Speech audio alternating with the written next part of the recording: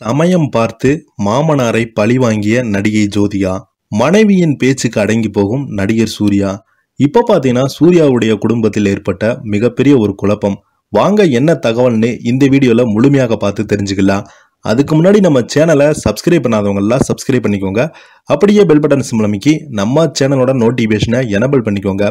அப்போ தான் நாங்கள் போடுற வீடியோ உங்களுக்கு உடனுக்குடனே வந்து சேருவோம் புஸ்புஸ் என நடிகையாக கொழுக்கு முழுக்க அழகிய அக்கட தேசத்திலிருந்து தமிழ் சினிமாவிற்கு நடிக்க வந்தவங்க தான் நடிகை ஜோதிகா அவங்க.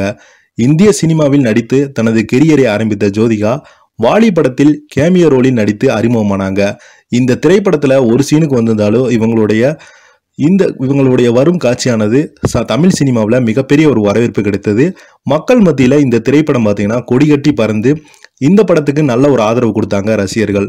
முதல் படத்திலே நல்ல அறிமுகத்தை பெற்ற அவங்க தொடர்ந்து பூவெல்லாம் கேட்டுப்பார் சிநேகிதியே குசி பூவெல்லாம் முன்வாசம் பிரியமான தோழி தூள் காக்க காக்க மன்மதன் பேரழகன் சந்திரமுகி ஜில்லுன்னு ஒரு காதல் இப்படி பல்வேறு ஹிட் திரைப்படங்களை நடித்தாங்க நம்ம நடிகை ஜோதிகா அவங்க. காக்க காக்க படத்தில் நடித்த போது நடிகர் சூர்யாவை காதலித்து திருமணம் செய்து கொண்டாங்க. சிவகுமாருக்கு தன் மகன் ஒரு நடிகையாக திருமணம் செய்வதில் விருப்பமே இல்லை.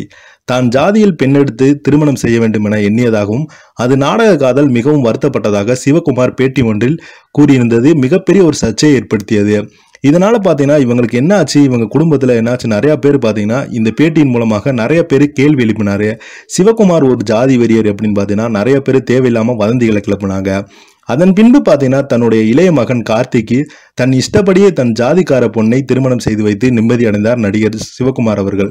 இதையெல்லாம் மனதில் வைத்துக்கொண்டு சரியான நேரம் பார்த்து பழி வாங்கி எதிர்பார்த்து காத்து கொண்டிருந்த ஜோதிகா மீண்டும் திரைப்படங்களில் நடிக்க ஆரம்பிச்சிருக்காங்க.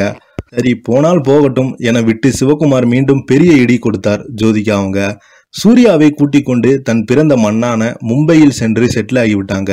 இதனால் சிவகுமார் செம கோபத்தில் இருக்கிறாராம். இருந்தாலும் அவரால் ஒண்ணுமே செய்ய முடியவில்லையாம். காரணம் சூர்யா சூர்யா ஜோதிகாவை பேச்சை தட்டாமல் அவர் சொல்வதை மந்திர வாக்காக நினைத்து இந்தி படங்களில் நடிக்க ஆர்வம் காட்டி வருகிறார்.